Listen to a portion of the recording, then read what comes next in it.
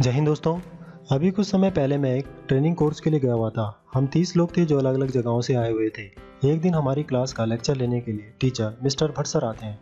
वो हमारी क्लास को एक वर्क कराते हैं कि हमें अपने पड़ोस में रहने वाले सबसे शैतान बच्चे के बारे में बुराइयाँ लिखनी है। तो हम कितने पेज लिख सकते हैं? कोई कहता है एक पेज कोई कहता है दो पेज लिख सकते हैं।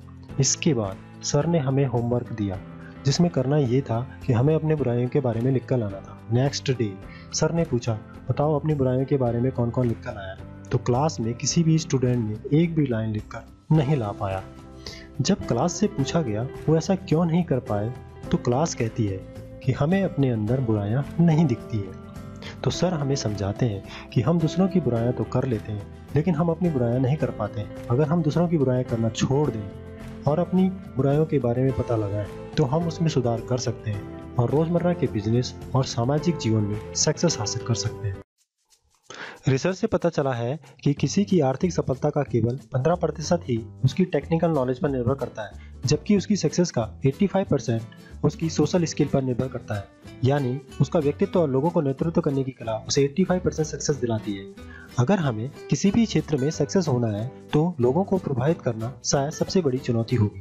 तो हम डेल कार्नेगी की book how to win friends and influence people से सीखेंगे, लोगों को किस प्रकार से प्रभावित किया जाए। डेल कार्नेगी एक अमेरिकी लेखक थे, जिन्होंने 15 साल के रिसर्च के बाद पुस्तक प्रकाशित हुई। लेते हैं principle number one don't criticise अगर आप ये चाहते हैं कि लोग आपको पसंद करें तो आप उन्हें क्रिटिसाइज मत करो। लोगों को क्रिटिसाइज करने से उनका बिहेवियर चेंज नहीं होता। क्योंकि इंसान रीजन से नहीं इमोशनल से चलता है। हम किसी की क्रिटिसाइज करके शायद अपनी विरासत तो निकाल लेंगे, लेकिन लोग हमें पसंद नहीं करेंगे। कितनी ही बार हम लोगों की क्रिटिसाइज करते हैं और आशा करते हैं कि वो अपना बिहेवियर चेंज कर देंगे, लेकिन हमने कभी सोचा है कि कितनी ही बार हमने किसी की क्रिटिसाइज किया हो और वो एक्चुअल में चेंज हो गया हो। होता ये है, ना तो उसका बिहेवियर चेंज होता है, उल्टा वो यही सोचता है कि हम एक बुरे इंसान हैं। कई सक्सेसफुल लोगों ने हैबिट्स बनाई है कि वो ओपनली किसी की क्रिटिसाइज नहीं करते। एग्ज़ाम्पल ब्रैंडन फ्रैंकलिन लोगों के साथ व्यवहार करने में इतने कुशल हो गए कि उन्हें फ्रांस के राजदूत के रूप में भेजा गया। ब्रैंडन फ्रैंकलिन ने अपनी सक्सेस का सीक्रेट बताते हुए कि मैं किसी के बारे में बुरा नहीं बोलूँगा और हर किसी के बारे में अच्छा बोलूँगा। अब्राहम लिंकन अपने विरोधियों पर आलोचनात्मक पत्र लिखते थे और उन्हें अखबार में छपवाते थे। एक बार बात को ज़्यादा ही बिगड़ गई। उनके एक विरोधी ने क्रिटिसाइज से परेशान होकर इब्राहिम लिंकन को तलवार से लड़ने का चैलेंज दे दिया। लिंकन की क्रिटिसाइज करने की आदत उनकी जान पर बनाई। इसके बाद उन्होंने फिर कभी किसी बात के लिए किसी की आलोचना नहीं की। कभी भी ऐसा नहीं सोचना चाहिए कि हम बहुत बड़े हैं और दूसरे लोगों से हम ज़्यादा जानते हैं। लोगों की आलोचना करने के बजाय हम उन्हें समझने की कोशिश करनी चाहिए। हमें यह पता लगाना चाहिए कि जो काम वे करते हैं, उन्हें वे क्यों करते हैं? यह आलोचना से ज़्यादा रोचक और लाभदायक होगा।